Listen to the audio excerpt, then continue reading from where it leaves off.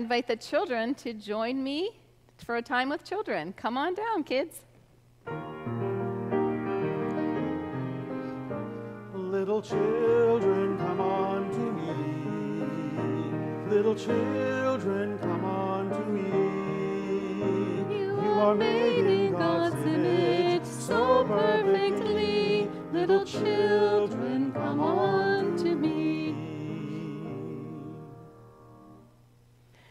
Good morning, girls and boys.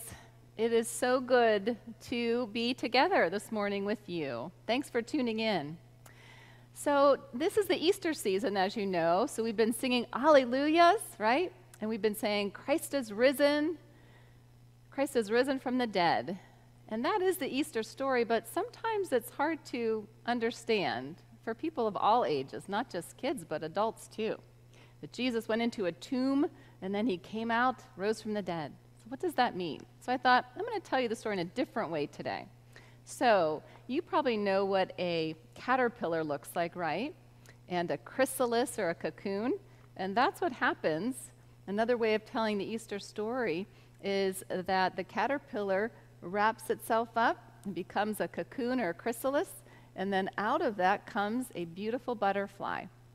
And so the butterfly is actually a sign, it's a picture of hope and new life for us. And so butterflies are so beautiful, aren't they? We're starting to see them now that spring is coming.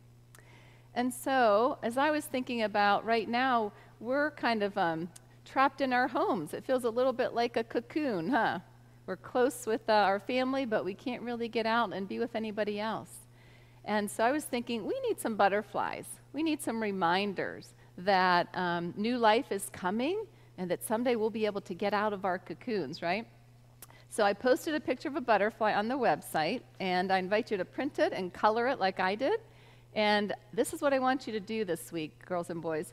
If you can color your butterfly and hang it in one of your windows in your house, maybe facing the street, so that when people walk by, they can see your butterfly and it can make them smile and help them have a sense of, of hope and happiness that there is new life coming and that it will remind them that Jesus is risen and the butterflies will fly again and uh, life will be good.